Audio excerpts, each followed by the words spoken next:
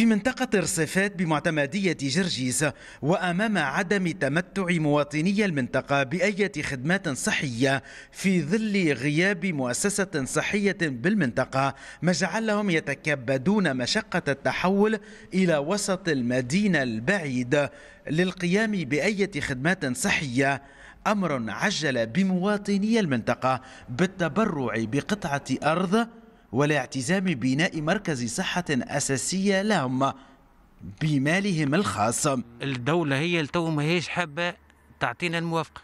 هاك حاجتنا بالموافقة من الدولة وإحنا يا أخوي غدوة جمعة يولي يخدم على روح المستوصف. هذا اللي حاجتنا به ما عندنا حتى حاجة الناس من الأرض هذه عندها عام ولا أكثر تعطينا ولا خمس سنين. متبرعين بها والفلوس هذا موجودة. والدولة التو ما حبش توافق. مشكلة كبيرة برشا والمستوصف القريبيس بعيد شوي. في في حالات معناها لدغ ولا حاجة مشكلة كبيرة برشا.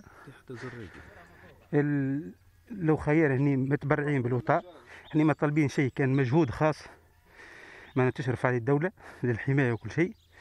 رانا نبنوه وما نتحملوا كل شيء. السلطة المحلية بجرجيس تؤكد من جهتها أن هذا المشروع سيشرع في إنجازه في حال الانتهاء من مختلف الإجراءات الإدارية تأكيدا على عزم المواطنين على إنجاز هذا المشروع بشكل طوعي وتضامني. إحداث مستوصف محلي بمنطقة الرصيفات.